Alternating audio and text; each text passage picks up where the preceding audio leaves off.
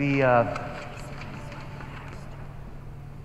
begin this Advent season, we'll bless these uh, Advent candles and, um, and ask God to bless our Advent. Lord God, your church joyfully awaits the coming of its Savior, who enlightens our hearts and dispels the darkness of ignorance and sin.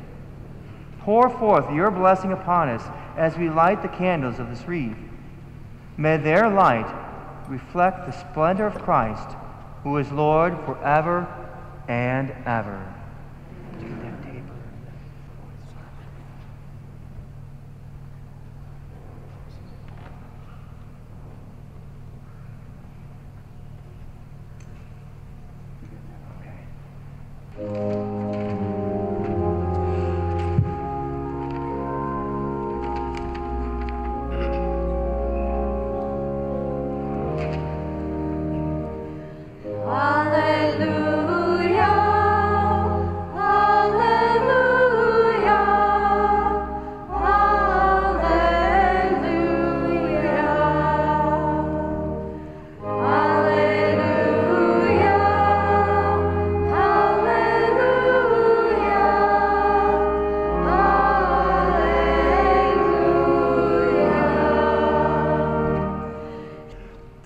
Be with you.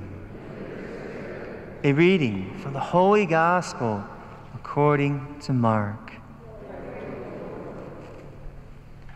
Jesus said to his disciples, Be watchful, be alert. You do not know when the time will come. It is like a man traveling abroad. He leaves home and places his servants in charge, each with his own work and orders the gatekeeper to be on the watch. Watch, therefore. You do not know when the Lord of the house is coming, whether in the evening, or at midnight, or at cockcrow, or in the morning. May he not come suddenly and find you sleeping. What I say to you, I say to you all watch.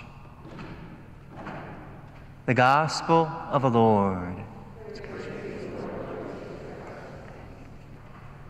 And so, the first week of this Advent season, um, Jesus reminds us to be watchful, to always be watchful, keep on guard. And then also in that first reading, we kind of come with that question um, why is there so much evil in the world? Why don't you just make us do your will? Because, you know, God maybe, maybe we've prayed this prayer many times. God, why don't you just make me do what you want you what you want me to do? And everything, boy, if everybody did that, if you just made everybody do your will, this world would be a, so much a better place. You know, just just just do this, you know. And and um, but in God's wisdom, in God's wisdom, He doesn't make it that way. He doesn't make it that way.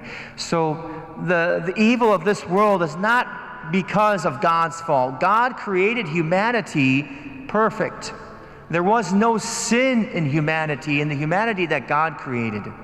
But it was because of a choice that Adam and Eve made, that Adam and Eve made, and that we continue to make. So God gives us a choice because he loves us. Imagine being married to somebody who never had a choice to be married to you. That wouldn't be true love, would it? So he wants us to truly love and truly to respond and truly to make a decision.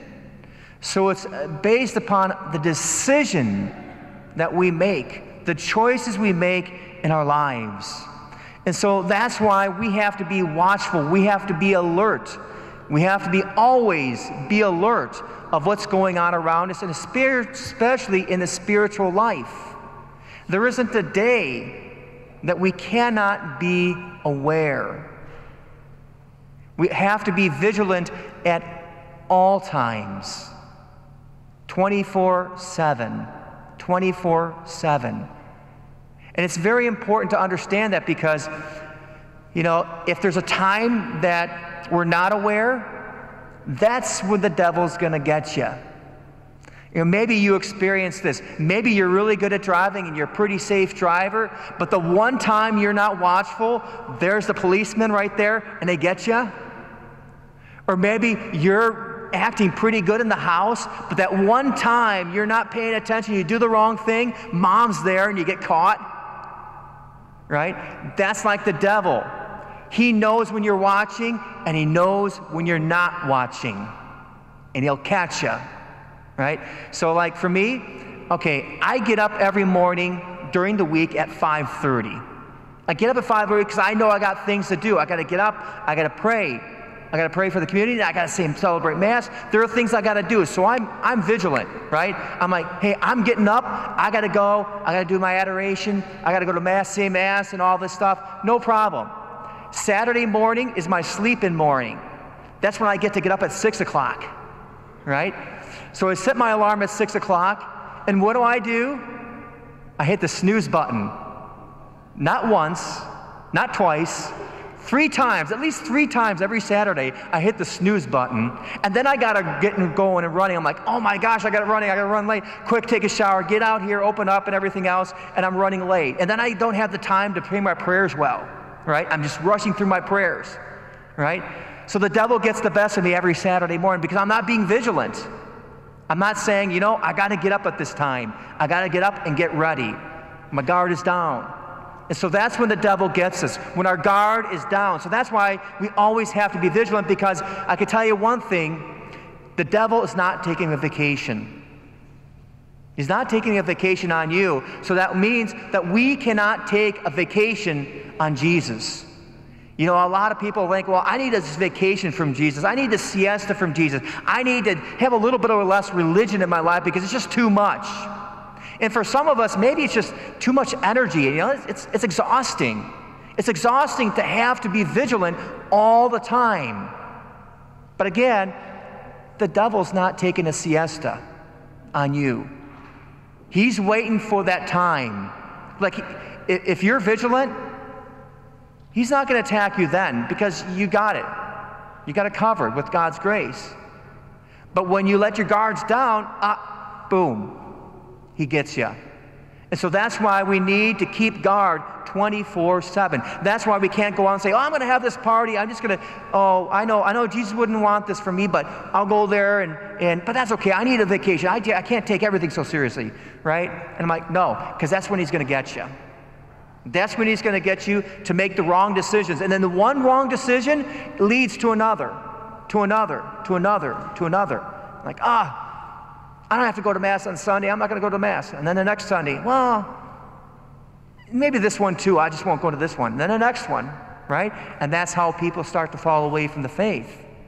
It could be just hanging around with the wrong person, the wrong crowd, and say, you know, I don't like this crowd, but ah, I'll just go. And then next thing you know, well, okay, I'll have a, I'll have a beer too. Next time, I'll have six beers. No big deal. It's just a couple more. Eight beers, 12 beers in a night. Well, hey, here's some marijuana. I'll try that too the next time. Next time, it might be a little more marijuana. Next time, well, maybe I'll do some more drugs. Hey, that serious stuff, I don't know. Well, they're pushing me. Well, maybe. Well, I'll say no this time. I don't want to judge them, you know? And so it starts to be one decision after another. So that's why we have to be careful of our decisions that we make throughout our life. Because when we make our decision, it affects the next and the next and the next and the next. It goes on down the line. So that's why we always have to be vigilant. Now, when we're vigilant, we have to realize why we're vigilant. Because we want to get to heaven? Now, now think about this. Okay, we want to take a siesta from Jesus. Just say we want to take a siesta from Jesus. Well, okay, if we take Je- if we if we if we don't want to take a siesta from Jesus, then we're asking Jesus not to be there. Well, who is Jesus? Well, Jesus is God, which is why we don't want him to be there. The one thing that we've always been pounded into our brains as cradle Catholics is that God is love. So if you don't want Jesus to be there, you're saying you don't want love to be there. You don't want his mercy to be there. You don't want his grace to be there. So if you distance yourself from Jesus in these acts, you're saying, I don't want you here, and then that's where the devil gets you. So we realize that when we say no to Jesus, we're saying no to his grace. We're saying no to his love. We're saying no to all those gifts that he wants to give us at that moment. And so that's a good challenge for us, and it keeps us focused on the positive, not on the things that we get denied, right? We feel like it's the thou shalt nots, and the church is always telling us what not to do. But we have to do is focus on the good that we receive when we're always in the presence of God. One of the things my experience has always been is that if I do God's will, I never have regrets. I have never, not once in my lifetime, have ever regretted doing God's will. But I can tell you one thing if I just do my will, and I consistently do my own will, I will have regrets. And that's a guarantee. At least that's for me. I know that all the time. I do my will, eventually, may not every, be every time, but eventually I will have a regret because I don't understand everything. I don't understand what everybody else is going through. So that's why I'm always trying to do God's will, and that's all part of being watchful and alert. Now, being watchful and alert requires a decision to be alert.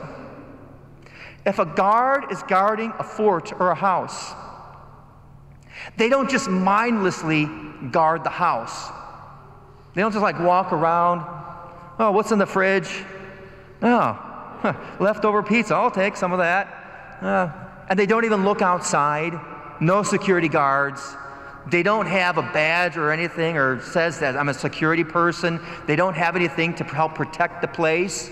They're just mindlessly walking around. When does a guard do that? Like if you're guarding your soul, there has to be a will decision to say, you know, I need to do that. And you're guarding that, right? And it's exhausting. It takes a lot of energy to do it, and good Lord knows it. That's where we need to rely on God's grace to give us that energy that we need. That's that life of prayer. And that's coming to Mass. So coming to Mass isn't about, you know, just serving your duty, serving your time. It's about entering into this relationship with God. And in this relationship, you get rejuvenated. You get the graces that you need so that you can keep carrying on and being vigilant and being the person that you really want to be. Be that person of grace and holiness and virtue that other people can really look up to. That you can never, you would never have to hang your head low. And so we always look at the goodness of God and the goodness of following Him and the benefits that we receive in always, always remaining vigilant, always watching.